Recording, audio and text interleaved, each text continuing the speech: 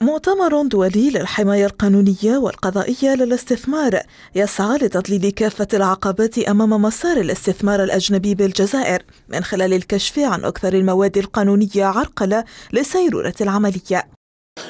كذلك لازم يكون دفتر الشروط يحمي الطرفين في العقد وما يلزمش يكون آه، ثقيل جدا هذا دفتر الشروط.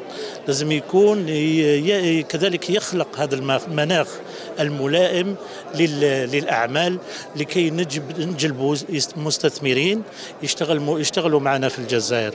هذا هو الهدف الحماية وجلب المستثمرين.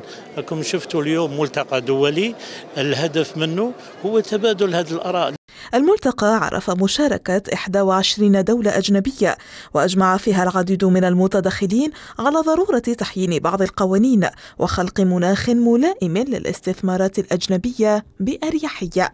يجب آه، توفير حماية آه، للمستثمر الأجنبي وذلك اللي حتى إنه يكون يعني يحس يشعر بالإطمئنان ويستطيع أن يباشر استثماره. في الجزائر إن في سابقة مثل ما فهمنا من من الكلمة إن في لجان مكونة لتغيير هذه القوانين لتطويعها لجذب الاستثمار العالمي إلى دولة الجزائر وهذه خطوة مباركة ونحن نشد أزرهم في ذلك.